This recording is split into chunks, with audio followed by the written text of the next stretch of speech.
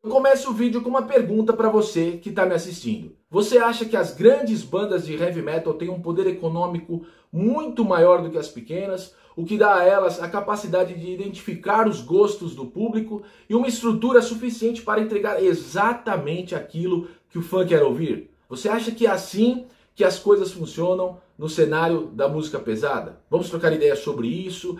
Esse tema veio à tona novamente depois da entrevista que eu fiz com o Júnior Carelli, em que conversamos sobre os negócios da música. Antes, um amigo já tinha me mandado um vídeo e eu vou comentar o texto deste vídeo aqui. Eu não vou identificar quem é, porque parece que eu estou provocando treta com outra pessoa que fala na internet e não é essa a intenção. A intenção é trazer uma reflexão um pouco mais profunda sobre esse tema dos negócios e do mercado da música, beleza? Bora? Então fiquem comigo até o final do vídeo. Eu tenho certeza que vocês vão encontrar alguma informação interessante aqui. E sempre deixando os comentários de vocês, que eu curto muito ler e acrescenta muito ao tema do vídeo, beleza? Então eu fiz a transcrição aqui daquele outro vídeo. Então vamos lá. Então ele pergunta: por que o metal não inova? Então ele diz: Iron Maiden, Metallica, Judas Priest, qualquer outra banda de grande escalão não vão mais surpreender ninguém. E tá todo mundo ok com isso, certo? Ele faz essa pergunta. Então é uma pergunta retórica com uma certa ironia, dizendo que Iron Maiden, Metallica e Judas Priest não vão mais inovar no heavy metal e tá todo mundo ok. Aqui ele traz uma uma generalização, né? Tá todo mundo ok. É uma generalização simplória. Tem muitos fãs reclamando muito né, das grandes bandas, das bandas médias, das pequenas, que mantêm o mesmo padrão dentro do heavy metal.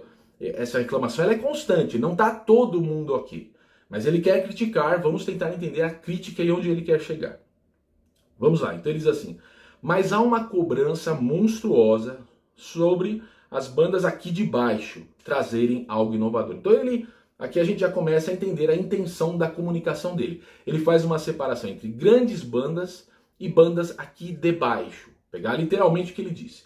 Ele não diz qual é o critério para dizer qual é a, o que é grande banda, né? Grande banda é quem tem mais dinheiro, é quem está mais na mídia. Tudo bem, vamos entender.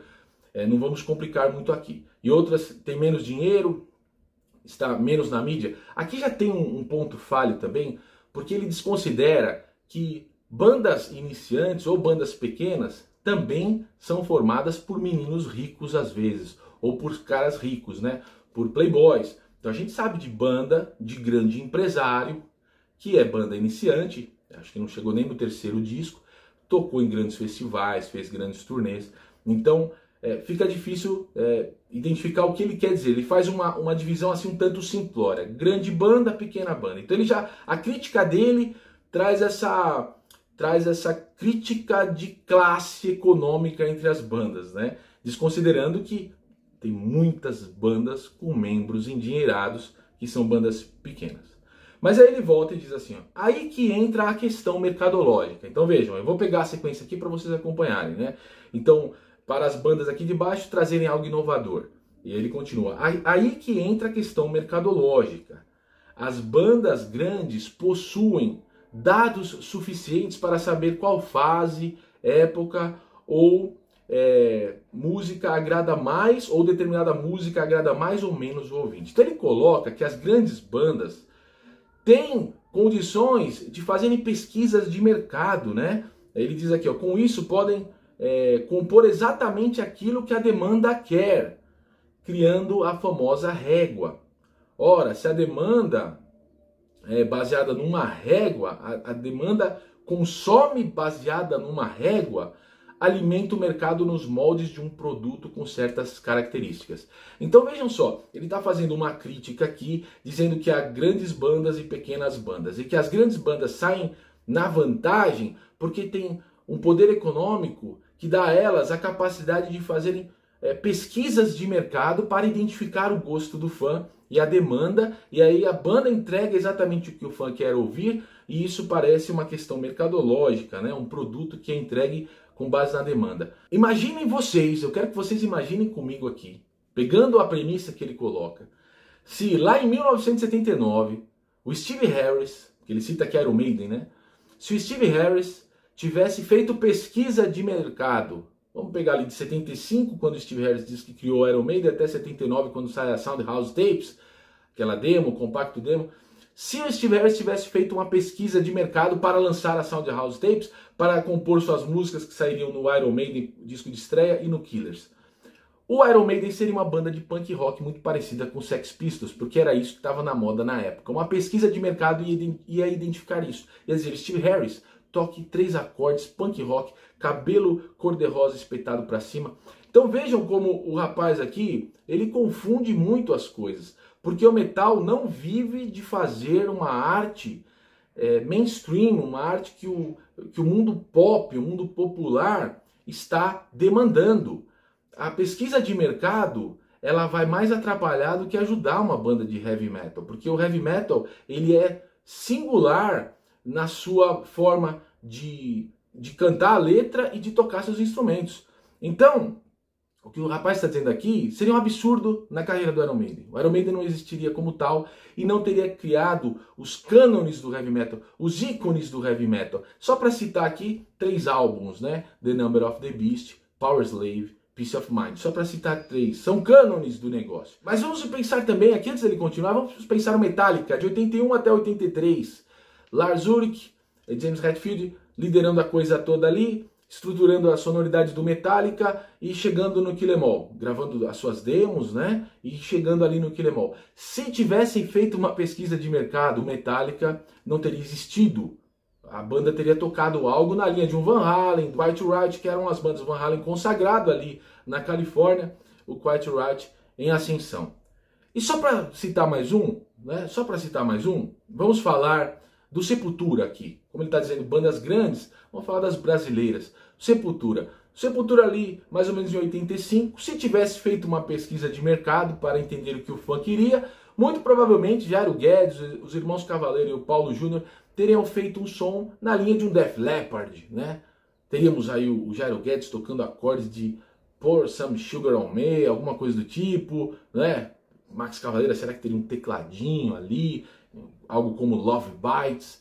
Então vejam que a premissa do rapaz está completamente equivocada. E ela chega a ser sedutora, porque quem é que não quer lutar contra uma injustiça, né? Então ele coloca como uma injustiça. As bandas grandes têm como fazer pesquisa de mercado, mas a gente está vendo aqui. Se Metallica, Iron, Judas, como ele falou, eu citei aqui mais o Sepultura, tivessem feito pesquisa de mercado, não teriam sido o que foram e não teriam estruturado os grandes cânones do heavy metal. Além de, do mais, bandas são compostas por pessoas que, por sua vez, fazem parte desta demanda orientada por esta régua. Essa parte aqui não ficou nem clara, não deu para entender como ele amarrou as ideias. Ele está falando dos músicos, os músicos também geram demanda, não saquei. Mas ele, ele aponta sua metralhadora giratória para todos. Ele critica aqui é, as bandas grandes, ele critica os músicos, né? não sei se faz essa diferença é, os músicos ele também está criticando. Depois você vai criticar a mídia, olha aqui, ó. Aliada a isso, vem a mídia, que ao trazer uma série de resenhas e matérias exaltando o trabalho de grandes pautado na mesmice,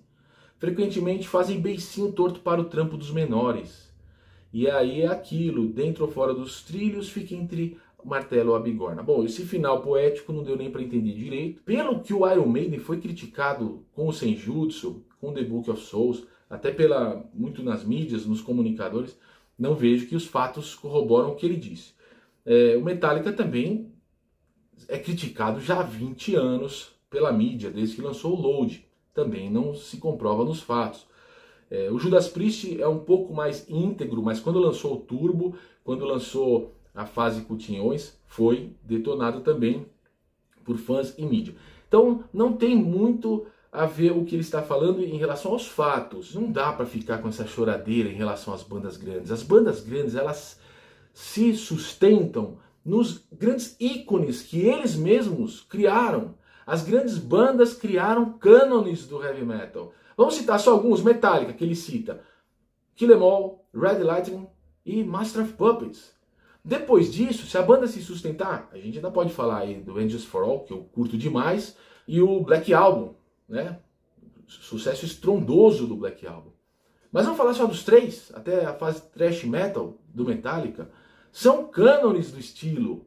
Depois a banda vai se sustentar em cima, da, em cima daquilo, mais ou menos do que ela mesma criou.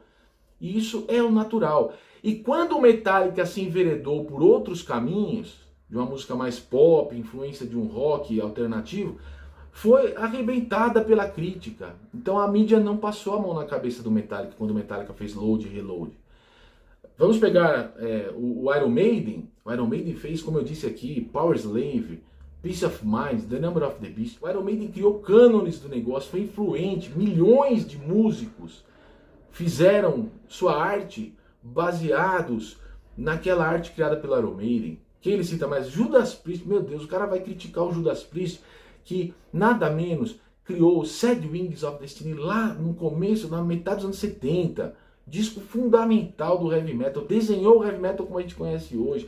British Steel, vamos citar mais um. Screaming for Vengeance. Vamos longe aqui. Painkiller. Não, não para o negócio. Como que ele quer dizer que essas bandas vivem e se sustentam porque fazem pesquisa de mercado e entregam para o fã que o fã quer? Essas bandas entregam para o seu fã aquilo que elas até intuitivamente já sabem que o fã quer, porque já tem a sua base de fãs, não porque é uma pesquisa de mercado. Esse negócio de pesquisa de mercado é tão falho. Eu sempre que chega aqui, né? Ah, Tchelo, faz aí no seu canal a pesquisa de mercado para ver o que o, que o povo quer. Vejam, se eu fosse fazer pesquisa de mercado para saber o que o povo quer, eu faria o sertanejo musicast, o funk musicast, não o metal musicast. Metal não é para isso.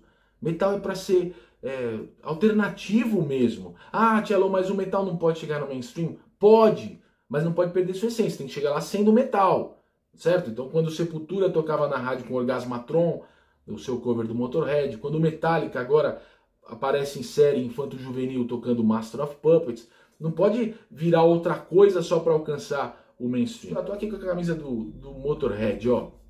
Não foi à toa, foi de propósito que eu quis gravar o vídeo com Motorhead. Por quê? Eu costumo dizer isso para os meus amigos. Se você vai fazer murmurações na internet que o pessoal não assiste teu canal, que o pessoal não ouve tua banda, que a banda gringa é mais importante que tua banda, e vai fazer uma choradeira, que o Angra é, foi melhor do que todas as bandas nacionais nos anos 90 e nos anos 2000, e você vai chorar reclamando do Angra. Se você vai fazer isso, pense em Leme Kilmister. O fator Leme. Se o Leme não faria, não faça. Eu digo isso. Se o Leme não faria, não faça. Você imagina o Leme, também outro ícone do estilo que a gente tanto curte. Você imagina o Leme choramingando? Ah, os caras gostam mais do outro, não gostam mais de mim. Você não imagina o Leme falando isso. Você imagina o Ozzy, os caras que começaram o negócio murmurando. Oh céus, oh, vida. Você imagina o Lars Ulrich. Oh céus, ó oh, vida. O Metallica não é tão grande como esse ou aquele. Você não imagina isso, então não faça. Uma banda pequena não se torna grande por canetada, por decreto, por murmuração.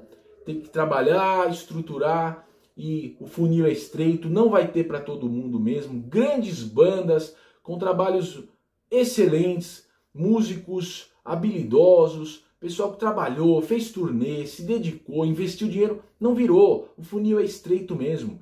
Ainda mais para quem está aqui no Brasil. Se o funil já é estreito para quem está lá na gringa, ainda mais aqui que a gente está longe dos centros do mercado mais estruturado. Então, não faça. Se o Leme não faria, não faça. E quando as pessoas vêm falar aqui, pô, Tchelo, faz uma pesquisa de mercado, veja as métricas do teu canal para aumentar. Isso aqui é o Metal Musicast. É um canal que fala de uma música alternativa, de uma música que nasceu para ser underground. Isso aqui não é sertanejo musicast. Se fosse para eu fazer pesquisa de mercado, ficar olhando métrica de views, de likes, esse tipo de coisa, eu pintaria meu cabelo de rosa, seria aí uma imitação do Felipe Neto, eu faria o funk musicast, eu não estaria aqui fazendo metal musicast. Eu acho que é isso que as bandas têm que pensar, é por esse caminho. E não ficar querendo invejar e alfinetar os grandes ícones a toda hora porque os caras estão fazendo. É verdade, no Brasil, banda que vive do seu trabalho, só Sepultura, Angra e Crisium. São bandas que fazem turnês, lançam discos e voltam com algum dinheiro para pagar as contas de casa, para ter uma vida classe média razoável. As outras não, não adianta, não, não fazem. Vocês estão vendo aí uma série de provas de que outras bandas, ainda que tenham respeito dos músicos, ainda que tenham uma projeção nas redes sociais, nós não vimos. Né? As pessoas vêm pedir dinheiro depois aqui na internet, não está fechando a conta, a banda está excursionando, está tirando foto com muita gente mas não está fechando a conta. E o funil é estreito no pop, no sertanejo, no funk, em qualquer ramo musical. em qualquer segmento profissional, para falar a verdade, né? Não só na música, na arte.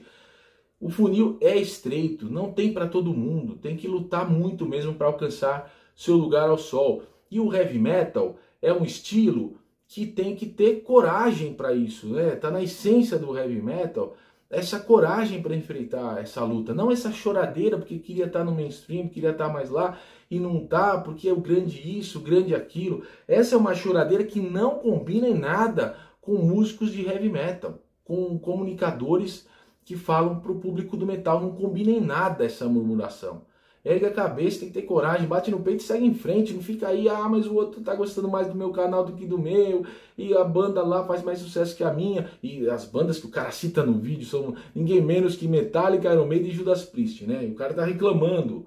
Então você não imagina Steve Harris, Ozzy, é, Lemmy, Lars Ulrich, James Hetfield fazendo uma coisa dessa, né? Uma choradeira dessa. Então não faça. E seja você mesmo. Seja você mesmo. Se você for fazer pesquisa de mercado para fazer tua arte, você deixará de ser você mesmo. É só isso. E o heavy metal, na minha visão, é um estilo musical que traz como essência o seja você mesmo.